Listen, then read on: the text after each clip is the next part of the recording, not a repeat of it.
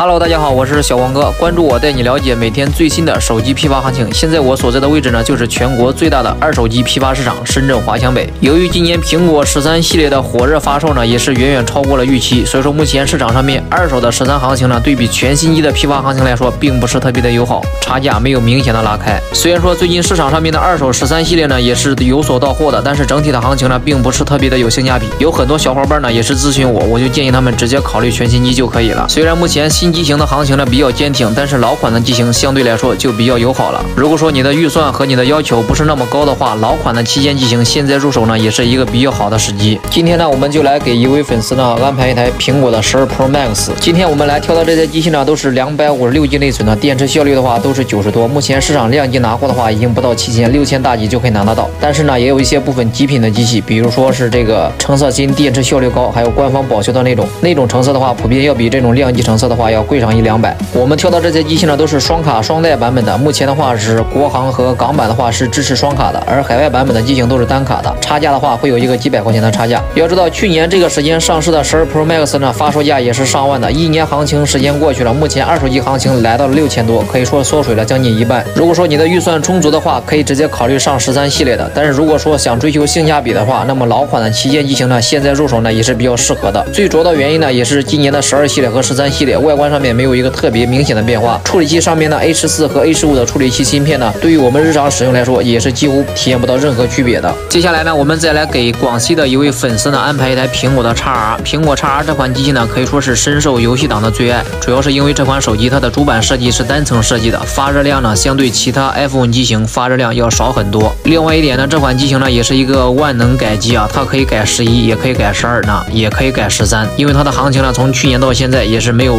特。别的掉价，最近一段时间呢，也是由于十三上市之后，老款的机型整体有所调价，所以说现在的行情呢，也是掉价了一点。之前我们拿货的话，像这种一百二十八 G 的亮机成色，拿货都要两千六七的，现在市场行情呢，也是掉价了好几百。但是今天我们给这位老板挑的这台机器呢，也是比较极品的，因为它的要求比较高，成色呢是完美的，一定要达到冲新级别的标准。电池效率呢，更是少有的极品啊，电池一百可以说是满血的状态。这家档口里面的叉 R 差不多有三到四百台，但是像这种极品的机器呢，也就有几个而已。所以说二手机器呢，它也是有分等级的，可以说是一机一况，视情况而定的。最后呢，我们再来到市场，给甘肃的一位老铁安排一款 iPad。我们今天挑的这台 iPad 呢，是二零一七款 iPad 第六代一百二十八 G WiFi 版本，整体的机况呢也是九五新的亮机的一个标准。市场档口老板报价一千六百五，我记得这款平板我去年拿的时候就是一千七这样子，可以说一年了，这款平板只有一个五十到一百块钱的一个变化幅度，几乎是没有掉价的。像这款一七年的 iPad 依然可以运行目前主流的应用和游。戏软件像什么吃鸡王者呀，都是不在话下的。已经接近五年了，这款机器的市场行情还要一千六七，可以说是相当的保值。iPad 的保值情况是远远要大于手机行情的。这也就是为什么我经常能在市场上面看到那些 iPad 档口老板，永远都是在那里嗑瓜子看电影，而做手机档口老板呢，整天都是愁眉苦脸的。生意好一点还可以，如果说遇到生意不好的，那么一天都不见一个笑脸。